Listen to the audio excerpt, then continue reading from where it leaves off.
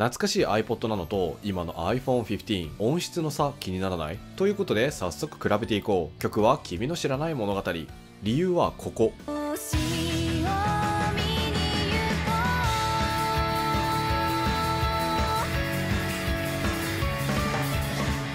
音質の違いがめちゃくちゃ分かりやすいから。今回使うのはワンモアの有線イヤホン。まずは iPod なのから行ってみよう。あーなんかもう思い出補正で正しく判断できなさそう。でも実際聞いてみると全然いい音質してると思う。昔の端末だけどさすが有線接続って感じ。次に iPhone なんだけど本気を出してもらおう。これで準備 OK ではさすあーやっぱ音違うな。うまく言えないけど iPod なのは後ろの楽器の音がぐちゃぐちゃに混ざってる感じ。でも iPhone は一つ一つの音をしっかりと聞き分けれるイメージだね。ただまあぶっちゃけ移動中に聞く分にはマジで気にならんレベルな気がするんだよな。